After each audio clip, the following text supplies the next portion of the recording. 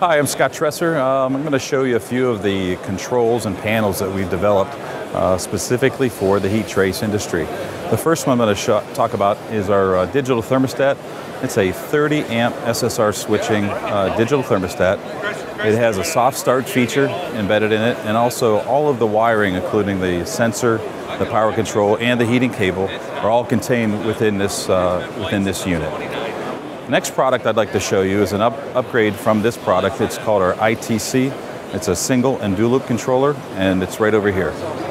This is our ITC heat trace controller. It's a microprocessor based controller that services either one or two circuits. It switches 40 amps per circuit. It's SSR driven. It's got full alarm capabilities, full monitoring capabilities, has a selectable soft start feature, um, has a very easy uh, user interface where you can uh, enter any of the parameters that you need through our keypad and has a very nice large TFT display. The next product I'm going to talk about is our multi-loop heat trace panel and it's right over here. This is our ITLS and ITAS multi-loop control panel. It services anywhere from 6 to 70, 72 loops. It also is a microprocessor based panel that switches 40 amps per circuit. It's got a large touchscreen computer. It's easy to manipulate, easy to navigate, and easy to program. Let me show you a little bit of the features about the uh, control panel that makes it easier for the user to start up. The touchscreen computer displays six loops at any given time. You can navigate to any of the other groups of six loops by touching these quick launch toggle tabs on the sides. And you can also see at any given time whether you have a fault condition by looking at the display. These would turn red if you had a fault condition. If you do have a fault, you easily just go to the fault page and you can look and see what type of fault that you have, whether it's a GFI, high temperature, or some sort of current situation. To get back to the main screen, you just hit main. And if this is the first time that you're installing the control panel, you go into the setup page you enter a security clearance number, and then you go into your parameter settings. The first tab is all the set points, and this is where you would spend most of your time programming the ITLS. All of your heat trace circuit names are here, your temperature settings, your current settings, your ground fault settings, as well as how you're going to control the panel, whether it's going to be automatic or manual control. You can also disable any individual circuit by simply selecting disable that circuit and that circuit can remain off if you need to do service on that line. You can also set up one circuit and that circuit will um, can be the, the guide for all of the rest of the circuits by hitting apply go globally. So all the parameters that were set in that one circuit will be applied to all of the circuits. It saves you a tremendous amount of time. The next tab is the tuning tab.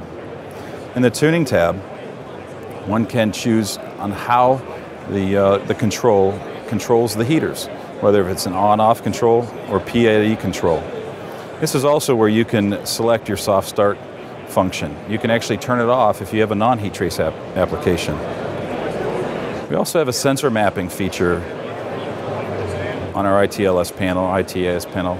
You can actually map more than one output to an individual sensor. This provides a lot of flexibility for the owner. The next tab is our Systems tab.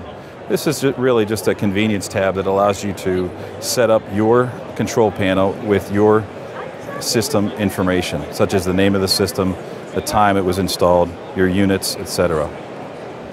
The last tab is our auto cycle tab.